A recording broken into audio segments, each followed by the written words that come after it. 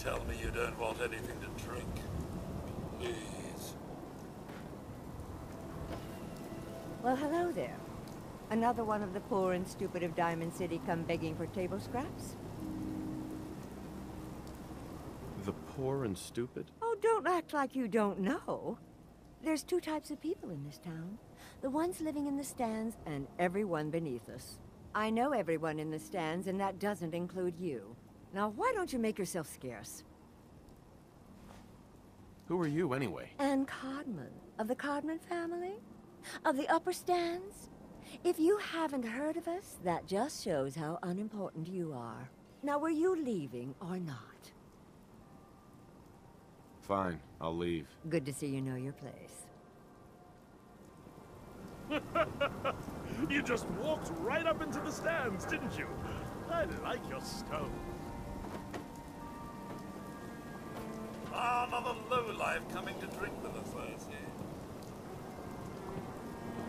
There a problem?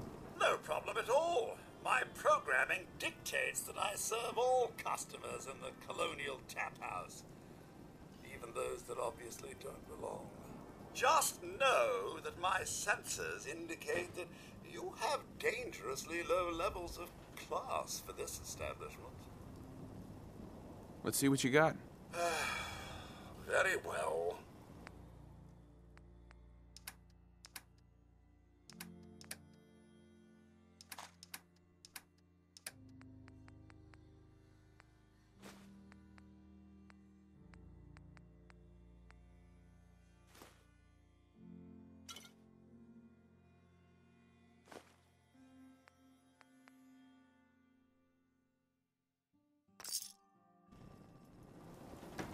Until Marowski's dead, we have nothing to talk about. You hear about that settlement? Covenant?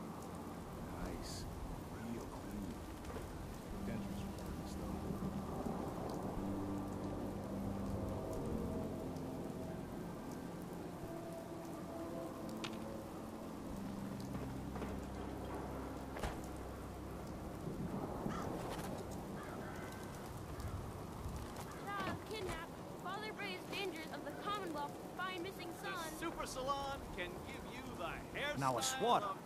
That's a real one. Talk to Mo Plum. Don't let the stress of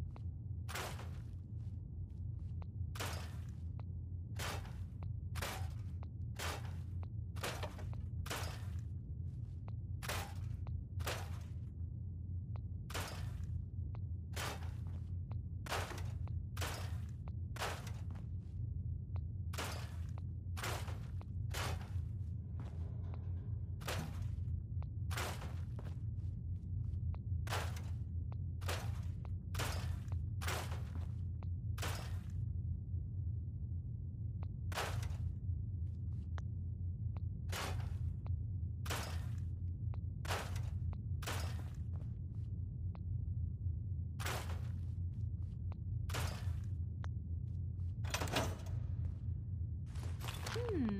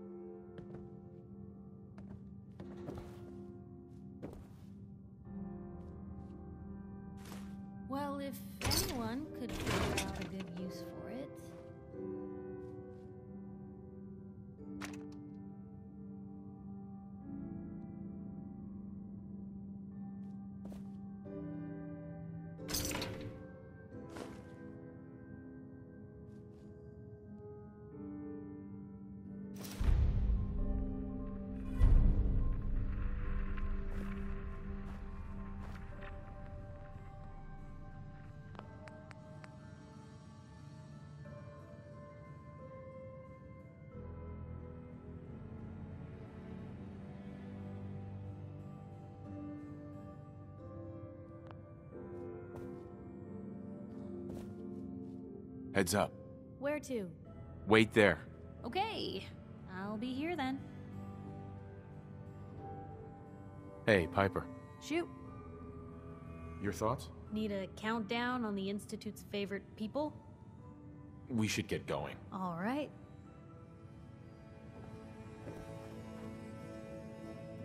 Ms. Perkins.